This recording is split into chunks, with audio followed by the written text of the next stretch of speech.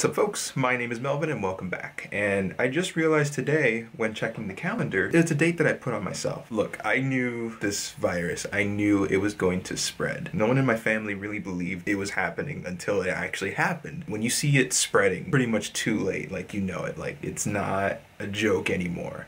Um, you're not being overly cautious. You're actually being un like I don't know if there's a word underly cautious or something. I sort of begged my mother to quit her job because I knew this was going to spread. I knew she had money saved um, for mortgage and other things. Like I knew she had money saved, and I had money saved. I really wasn't worried. I, I've been looking for a job, but I knew I wasn't too worried um, if I wasn't working yet.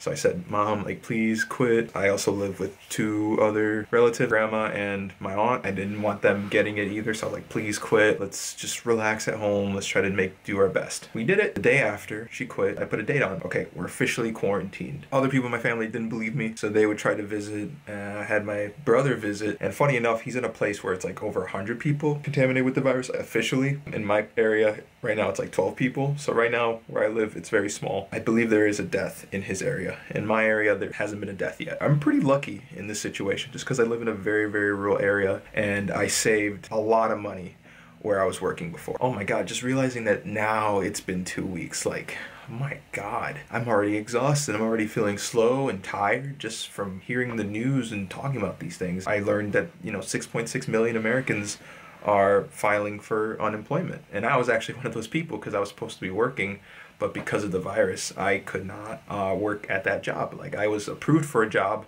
but then they said that they couldn't they didn't have time to train me. And yeah that number's just to keep rising. Getting the virus that's to keep rising. The amount of deaths that's to keep rising. Like all those things. Not many people saw it coming not many. And it just seemed like the people who should have said something didn't until it was too late. Life is life. We just have to see it for what it is. We shouldn't let that affect ourselves. Um, if you're quarantined i highly recommend trying to get into meditation that has helped my stress and anxiety go down by a lot. When I set that date, I also said, we're gonna know someone who has the virus. Like, we're gonna know someone. It might not be a family member, it might be a family member knowing someone, but we'll know someone.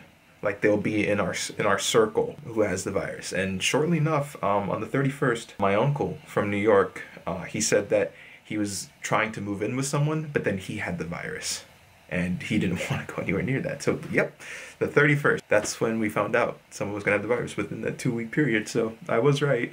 All right, you guys take care. Have a great rest of your day.